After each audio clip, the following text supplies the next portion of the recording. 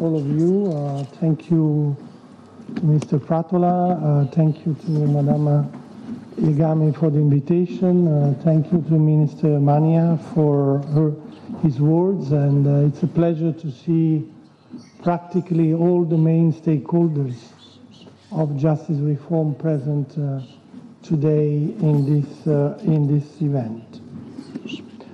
Oh, talking about justice reform, uh, uh, its adoption five years ago uh, meant to be uh, the beginning of new era for the rule of law in Albania. And it marked certainly a decisive start for the modern and European Albania. Those, those who conceived this reform, they knew that it was not never going to be an easy one. It has been a complex endeavor since 2016. However, the last five years have only confirmed that the reform was necessary. This is a hard process of fighting against impunity, fighting to regain public trust, and most importantly, fighting to establish integrity as a core value. This reform has been essential, let me say, to move forward away from its past towards a European future. Justice reform has started to bring concrete results, which would have been unthinkable only a few years back.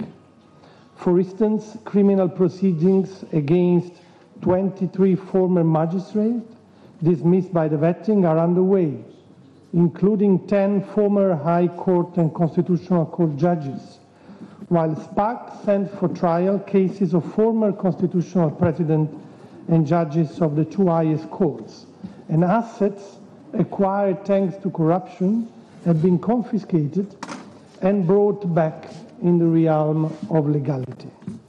Crucially, we have now fully functional, independent just institution, the High Judicial Prosecutor Council, the Justice Inspector, the General Prosecutor Office, and SPAC which are delivering results on a daily basis. But we now have entered a new phase of justice reform. Zyrat e prokurorisë, inspektorin e lartë, po ashtu zyrën e prokurorisë, SPAK-un, të cilat po japin rezultate dhe që tashmë ne kemi hyrë në një fazë të re të reformës në drejtësi. Në këtë fazë kërkohet pra që reforma në drejtësi të përfundohet dhe kjo gjë do të kërkojë edhe këmbëngulje, pragmatizëm, do të kërkojë në fakt edhe aftësi, lidership, Pra udhëheqje nga institucionet e reja të drejtësisë. Kuvendi i ri i Shqipërisë, Qeveria e re ka në fakt përgjegjësi shumë të rëndësishme në këtë drejtim dhe Bashkimi Europian është qëndron i gatshëm pra t'ju mbështesë në këto përpjekje. Dje kam patur një takim shumë të mirë me ministrin Manja dhe së shpejti unë do të takohem edhe me deputetë nga Kuvendi i Shqipërisë, si nga mazhoranca, ashtu dhe nga opozita. Ka disa dosje shumë të rëndësishme, të cilat duhet të trajtohen në mënyrë urgjente, dhe është e rëndësishme pra që ne të flasim për efikasitetin dhe të sigurojmë efikasitetin e gjykatave, duke përfshirë këtu dhe miratimin e hartës gjyqësore, si edhe të sistemit të flasim pra për sistemin e ri të menaxhimit të çështjeve.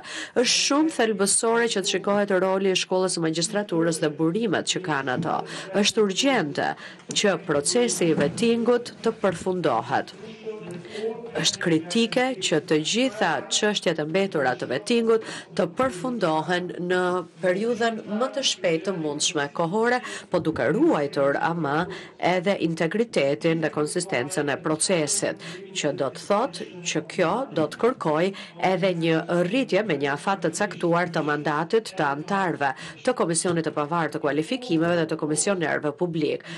Sigurisht që Në lidhje me këtë çështje, është në mandatin e Kuvendit dhe të Qeverisë që të përkufizojnë siç duhet pikërisht këto afate të sakta kohore të kësaj zgjatje, në konsultim natyrisht me të gjithë grupet e interesit. Por, më në përgjithësi, do duhet të themi që kryefjala e kësaj faze të dytë të reformës në drejtësi do të jetë, Fjala konsolidim, pra në mënyrë që të bëjmë të pamundurën që kjo reformë dhe të mirat e saj të jenë të pakthyeshme. Prandaj fuqizimi i vazhdueshëm i profesionalizmit, i performancës së sistemit të drejtësisë është fokusi dhe i kësaj konference dhe po ashtu një nga aspektet kyçe të cilat duhen parë, një sistem i mirë i performancës, inspektimi, po ashtu dhe bashkëpunimi i vërtetë të drejtësi pavarura të drejtësisë është thelbësor për të ruajtur ata standarde të larta të drejtësisë së pavarë.